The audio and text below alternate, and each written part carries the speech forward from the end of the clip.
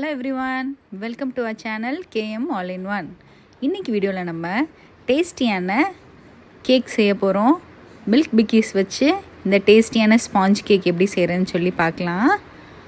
அதுக்கு நமக்கு ஜஸ்ட் ஒரு ரெண்டு மில்க் பிக்கீஸ் பேக் போதும். ஒரு தேர்ட்டி பிஸ்கெட்ஸ் இருந்தால் போதும். நல்லா சூப்பர்வாக நம்ம இந்த கேக் செஞ்சிடலாம். நம்ம பிஸ்கெட் கேக் செய்ய போகிறோம் மில்க் பிக்கீஸ் பிஸ்கெட்டை வச்சு நம்ம வீட்டில் எப்படி கிட்ஸுக்கு பிடிச்ச மாதிரி சிம்பிளாக பிஸ்கெட் கேக் செய்யலாம் அப்படின்னு சொல்லி பார்க்கலாம். அதுக்கு நீங்கள் மில்க் பிக்கீஸ் பிஸ்கெட் எடுத்துக்கோங்க. மில்க் பிக்கீஸ் பிஸ்கெட் ஒரு தேர்ட்டி பிஸ்கெட்ஸ் எடுத்துக்கோங்க. அது எல்லாத்தையுமே வந்து ஒரு மிக்சி ஜாரில் போட்டுக்கணும்.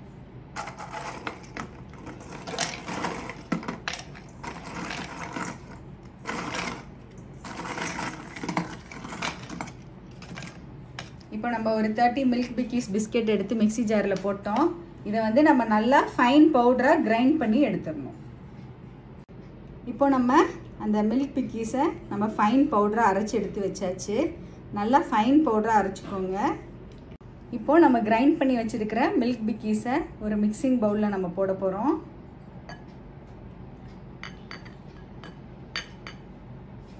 இப்போது அதோட ஒரு கால் ஸ்பூன் பேக்கிங் பவுடர்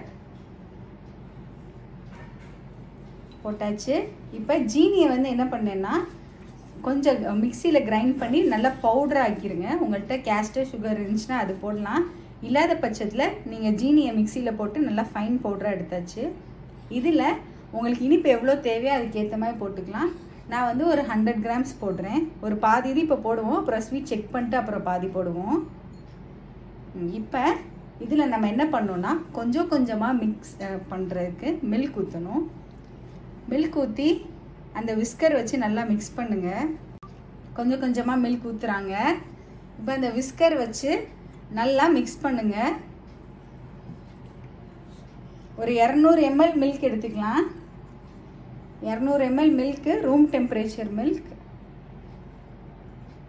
கொஞ்சம் கொஞ்சமாக போட்டு நல்ல ஒரு பேட்டர் கன்சிஸ்டன்சி வர வரையும் மிக்ஸ் பண்ணிக்கோங்க. இப்போ நம்ம இந்த பேட்டரை வந்து நம்ம நல்லா மிக்ஸ் பண்ணியாச்சு. நம்ம இதில் பட்டர் எதுவுமே சேர்க்கலை ஆயில் சேர்க்கலை. ஏன் அப்படின்னா மில்க் பிக்கீஸ்லேயே வந்து இந்த பட்டரி கண்டென்ட்லாம் இருக்கும். அதனால் எதுவுமே சேர்க்க தேவையில்லை. எக் எதுவுமே சேர்க்க தேவையில்லை. நம்ம வெறும் மில்க் மட்டும்தான் ஆட் பண்ணியிருக்கோம். கொஞ்சமாக சுகர் கொஞ்சமாக பேக்கிங் பவுடர் மட்டும்தான் ஆட் பண்ணியிருக்கோம் இதில். நல்லா பால் போட்டு மிக்ஸ் பண்ணியிருக்கோம். இப்போ இதை வந்து நம்ம என்ன செய்ய போகிறோம்னா ஒரு பவுலில் ட்ரான்ஸ்ஃபர் பண்ணிக்கோங்க. அந்த பவுலில் வந்து லைட்டாக நம்ம நெய் விட்டு அதை லைட்டாக கோட் பண்ணிக்கலாம். இப்போ நம்ம இந்த பேட்டரை வந்து ஒரு பேக்கிங் பவுலில் போர் பண்ணியாச்சு. லைட்டாக அதை டேப் பண்ணிக்கோங்க. ஏதாவது ஏர் பபிள்ஸ் இருந்துச்சுன்னா அது போய் செட் ஆகிக்கும் இப்போ நம்ம இது மேலே கொஞ்சமாக நட்ஸ் ஆட் பண்ணுறோம் அழகாக டெக்கரேட்டிவாக கேஷ்யூ பாதாம் ரைசின்ஸ் ஆட் பண்ணுறோம்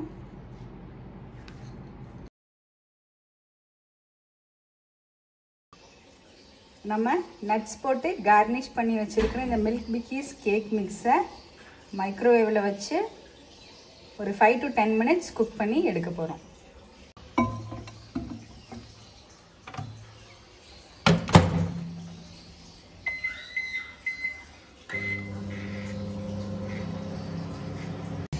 இப்போ இதை நம்ம ஃபைவ் மினிட்ஸ் மைக்ரோவேவில் வச்சு பண்ணிடுவோம்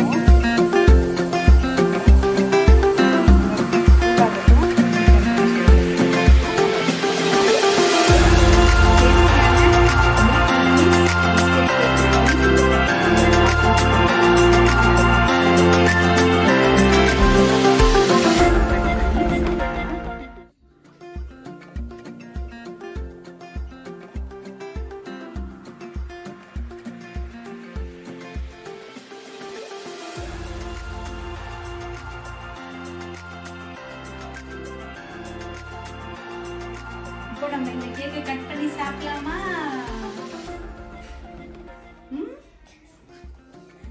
வாங்க எண்ணி குட்டி